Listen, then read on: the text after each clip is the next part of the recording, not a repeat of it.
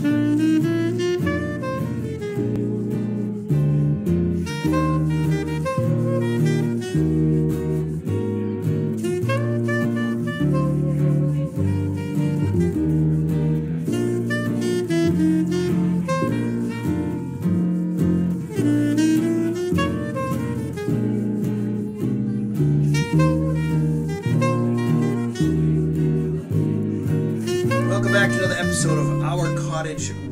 Renovation. I am coming to you uh, this week from the workshop. Uh, so please excuse the mess. This is an actual working workshop. Uh, I remember those of you who are old enough back in the day to remember uh, Emeril Lagasse when he was on the Food Network and he would be cooking and he would say, You know, we're really cooking here. The stove really works. Well, this is a working shop. But we're here this week because we are uh, not working at the cottage. We've we've I, June is kind of a month that there's a lot going on, so I don't know how much work we're going to get done up there. But work continues. So we have a couple of things going on. We are working on uh, paint colors for outside. We're going to talk about that in another episode. But this week we're gonna, we're continuing to talk about the kitchen. Last time you saw the floor go down. We're waiting on the plumber to come. He's going to do his thing, and then we have some more work to do inside.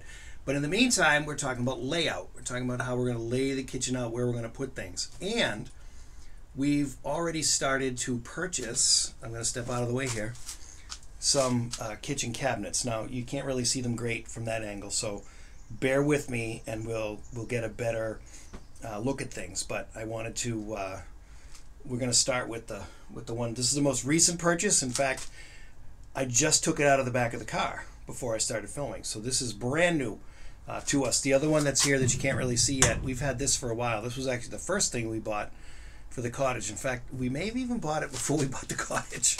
I think we've had this one for a while. So what we're trying to do is we want to sort of recreate a vintage look uh, in the cottage. So as you know, the cottage dates from 1873. As we discussed last time, the addition is probably early 30s, between 1930 and 1933, based on the newspaper uh, clipping that we found. Uh, so, and also based on the wideness of the boards and the cut nails that were used and things like that. So we're looking at about the 1930s. So we're going for a vintage look in the kitchen to the 40s and 50s, sometime in that decade between the 40s and 50s. Uh, so uh, we're looking for cabinetry from that time frame. We're, the appliances that we gonna that we will eventually have will look vintage. They're not going to be vintage appliances because there's a whole host of problems with buying vintage appliances. Uh, but we're going to purchase vintage looking, brand new vintage looking appliances, which you can still get. And we're going to talk. We'll talk about that um, at another time. But I want to start by talking about this cabinet that we bought because this cabinet is absolutely fabulous, and we found out something new about it uh, before we even uh, got to this point when we were just looking through it after we took it out of the car. So um, I have some notes because if you recall from the last episode, um, I couldn't remember uh, the bloke's name that was in the photo. I also said I was going to put his photo in the in the video, and it never made it. So I have some notes. I have some note cards about both of these uh, pieces. So excuse me uh, if I if I read it. So we always try to date things. We're always thinking about what the date is, and we look for certain clues. And one of the clues that we look for is the laminate that's on the top. All right. So uh, bear with me for a moment as I sort of jiggle around how I'm going to do things. All right. So this laminate that's here, you see, it's a, a yellow color uh, laminate. This is called uh, cracked ice and it's one of the first designs of laminate that was on the market, and it dates from uh, about 1930 into the 50s, early uh, 1950s. And so this is uh, cracked ice. Wilsonart, which is a sort of modern. Uh, I, I, can't see what you're seeing, but so there's the there's the Formica. So I'll turn this back around.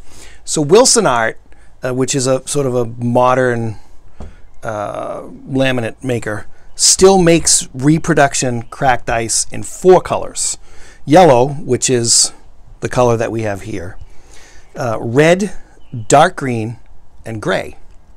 So uh, um, we'll try to get a close look at it here so you can see kind of the design. on it. Some of the other features are the metal strip that's here, uh, as well as the strip that's that's down here, and we're gonna we'll talk about that in a second. So this cabinet is wood. Um, it's plywood uh, mostly, uh, I think, which also helps us uh, to date it. It's got the two drawers here, uh, nice wooden. Uh, they're not dovetailed, but there's nice joinery here. So, um, so it's a good strong drawer for the drawer front. There's lots of room under here. There's various uh, hanging whatnots and things. Um, we picked this up. It was loaded with birdseed. There was uh, all kinds of bird seed in it. I don't know uh, how it got in. There's four drawers over here. And this is the exciting bit that we came across uh, when we took it out of the car and we were sort of going through it. This drawer. It's a bread drawer. That's a bread uh, bread drawer right there. It's lined with tin, and uh, it's still there. So that's pretty cool. So it's actually a metal drawer. The whole drawer is metal, and it has a wood front on it, uh, attached by some screws right there. Uh, so that's that was kind of a cool discovery. We didn't know that was on there. So we don't know sort of where where these are going to go in the overall design yet. Uh, I think we know more about the second one, about where that's going to go, uh, than we do uh, sort of about this one. All right, so let's talk about this other one. Now, this one that's here, this is metal. The whole cabinet's metal, and it's got this top on it, a laminate top, just like the other one. The difference is, is this has the square design. This has more of a bullnose design. The backsplash is not as high, as you can see between the two. And this is a complete metal backsplash, where this is wood covered in laminate with the metal strip here. This kind of rolls, bullnoses over and comes down and rolls off into the laminate. So this laminate, as you can probably imagine just by looking at it, is called Boomerang. And this is an original from Formica. It was called Skylark until about the 1950s. So let's talk a little bit about um, the Skylark brand and how it came to be. So Skylark, or what we are, are, are now calling the boomerang pattern, uh, began in 1950 and it was designed by industrial designer Brooks Stevens. And he was known for his work on industrial things like uh, trains, boats, and cars. And he created the uh, Skylark pattern. And remember, it was originally called Skylark. He created the uh, Skylark pattern, capturing the buoyant optimism of the time period. So he, so we got that going for us. And uh, it was a, uh, a graphic uh, intervention that established Formica as a as a uh, as a prominent brand. Now, here's what's interesting to me. So, growing up, anything, any kind of laminate we call Formica, right? It's like Kleenex, right? The the the tissues, right? It's Kleenex is the brand, and we call anything that pops up out of a box like that, it's a Kleenex, right? Get me Kleenex. We don't say get me a, you know, supermarket tissue or whatever. We call it a Kleenex. Well, Formica, some of you may know this, this was like I was today days old when I learned this, that Formica is a brand, not a product. It's a brand that makes products, it makes laminate, but we call it all Formica. So there it is. So the story continues though, we don't end there. So in the 1950s, another designer, a friend of uh, Brooks Stevens, uh, Raymond Loewy, he designed new colors for Skylarks, uh, Skylark as part of his Sunrise collection and eventually changed the name to Boomerang, which is what we have here. So we can date this from at least 1954 and maybe and perhaps a little bit later. Um, and so we're not sure who the manufacturer of the of the actual cabinet is on this one, the wooden cabinet, the first one we showed you. But we do know who the maker of the metal cabinet is. So again, this is the boomerang pattern, and you can tell because it has the distinctive boomerangs. Now, this is made in reproduction, but it's only made in a darker color than this. uh, it, it, it exists um, in a darker color. It, you can still get it. Um, it's just not as, um, I don't want to say as colorful as this because this really isn't colorful, but it's a lot darker uh, than this. And we're not looking to go darker. We actually want to go uh, lighter than this. So it's always interesting to figure out. So here, I'll show you a few more characteristics. So this obviously, the cabinet was white. It, it started its life as white what we've learned is most metal cabinets, anyways, were white. They were created in white. Maybe it was the cheapest color. Uh, it went with everything. It could be painted afterwards without too much effort. But as you notice, the front of the cabinet is now yellow. But interestingly enough, if you want to figure out who the manufacturer is of these things, you look for a tag. And so inside the door, right there, you see it's Youngstown Kitchens from Salem, Ohio, a Mullins Manufacturing Corporation. Youngstown Kitchens, as we've learned, made a ton of these metal cabinets, and they're all over the place. They're everywhere. Uh, but this one is very spacious. Has a big thing here, and a big opening, big cabinet there. This drawer is fabulous. It's like you get your whole family right in this drawer. This drawer is big. And then there's a smaller drawer here, and they slide. These drawers slide. You know, even if this is from later than 1954, but this is an old cabinet. And the drawers all still slide pretty good. And the box itself is in good shape. It needs a little cleanup. Needs to be painted a little bit. So we're not sure on colors yet. Uh, so that's the other, uh, that's for another discussion. But we also uh, really like these uh, handles. These are the right handles. Um, these handles that are on this cabinet are the right ones, but we're not so sure about the knobs. They're the same color, but they don't look like they went uh, with the cabinet, but we're not sure on that one. So we have to do a little bit more uh, inspection on that. So now the thing that's left is we have the cabinets. Now we sort of build the kitchen around it, right? We're not really sure where things are going to go. Our initial thought was that the boomerang cabinet was going to go centered on the windows at the back of the kitchen when you first walk in. We would center it there. And that would be sort of the end of the cabinetry. So there would be the refrigerator past that. There would be this boomerang cabinet.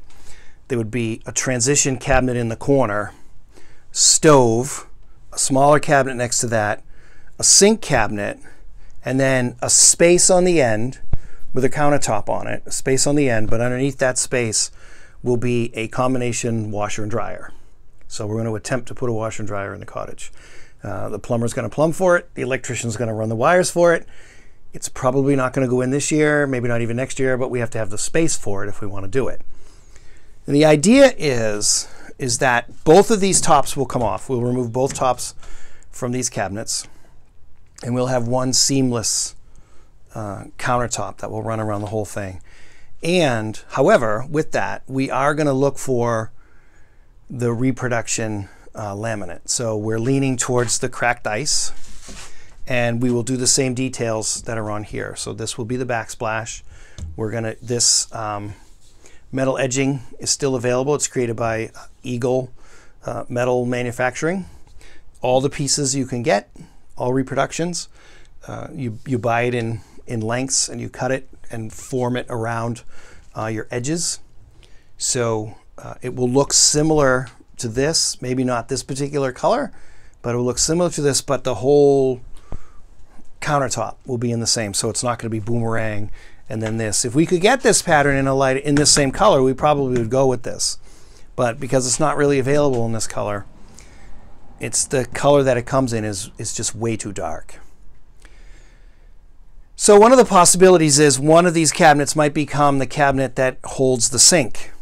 Uh, but we're not wedded to that either. This is going to be one of those times when we have to bring both of these cabinets up to the cottage, put them in the space, and kind of move them around and see uh, and see what we're thinking. We have a temporary sink that will go in now, um, and then we'll kind of build off of that. So that's uh, so the design plan is working. It's just a matter now of of placing these cabinets in the right place and uh, seeing where it's going to go. Blue painter's tape is your friend uh, in this instance. The idea is we will mark everything out on the floor. so we get an idea of where it is. We'll get an idea of the flow and see if we like it. And if we like where it is, we will uh, strip, sand, and paint the cabinets here and then bring them. Oh no, sorry. That's what originally we were going to do that. We're going to do it different. We're going to strip and sand them and prepare them here, but we're going to paint them there mainly because we're afraid that they'll get dinged and marked up in transit from the workshop here to the cottage. So we'll paint them there, obviously, before the floor goes down in the kitchen. We have that big space. Uh, they probably will be white and only white because it's easier to touch up white. So it'll be, and, and originally they were white. So we'll go back to kind of the white uh, look. So that's where we are right now. So next time, we're going to look at outside paint colors. We've talked a little bit about it. We did a little archaeological dig into a board that we had, and we've discovered uh, the original paint color. Mm. So uh, we're, we're going to talk about paint colors next time because, as we mentioned before, I think we're looking at a minimum of four, perhaps five, maybe even six different paint colors. If you remember the episode where I showed you some samples, you'll get an idea uh, of what we're looking at. All right, so I got a little a little homework for you guys to do. What I'd like you to do in the comments down below is we mentioned that the cracked ice comes in uh, yellow. I gotta find my card. I gotta find my card here again. Yellow, red, dark green, and gray. Now keep in mind the cabinets will be white. The floor is a sort of a charcoaly blue look, uh, sort of a grayish blue look, and that's we're going back with that color. Walls will be white. So walls will be white, cabinets will be white, floor is kind of a not a dark gray, but a but a charcoaly blue color. So what color do you think we should use uh, for the cat? Oh, the uh, stove is going to be white. I believe the washer dryer uh, will be white, and I'm not sure what the refrigerator color is going to be yet. So what color should the cracked ice countertop be? All right, your, your choices are yellow, red, dark green, and gray. So vote down below in the comments. Leave some comments and some colors and let us know what you think. And uh, we'll reveal what you guys think next time. I'm not sure we're going to reveal where we're going, but we'll talk about what you guys uh, are thinking about. While you're down there leaving a comment, if you haven't subscribed, click the subscribe button, ding the little bell so you remember uh, that we're here. And uh, sorry for the lateness of this episode. I tried to get them out on Saturday, but we didn't make it this week. I'm not sure we're going to make it next week. And uh, uh, but we've got some stuff coming up, so hang in there. And uh, thanks for watching, and we'll see you next time.